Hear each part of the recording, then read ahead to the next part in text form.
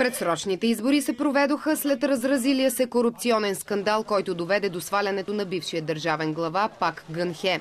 Заради извънредния характер на вота, Мун Джей Ин веднага получи всички пълномощия без никакъв преходен период. По време на днешната клетва той обеща незабавно да започне работа в посока потушаване на напрежението на Корейския полуостров, породено от амбициозната ядрена програма на съседен Пхенян. Спешно ще се опитам да разреша кризата със сигурността. Ще работя за мира на Корейския полуостров. Ако е необходимо, ще замина директно за Вашингтон.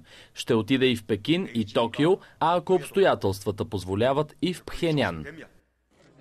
Либералът победител на изборите се обявява за диалог с Северна Корея. Според него досегашната по-твърда политика към Пхенян не е довела до нищо добро.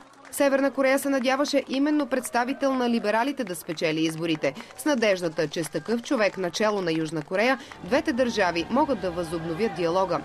Джей Ин обеща да засили дипломатическото и економическото сътрудничество с основните южнокорейски съюзници – Съединените щати, Китай, Япония и Русия. Същевременно обаче възнамерява да постави националните интереси на първо място.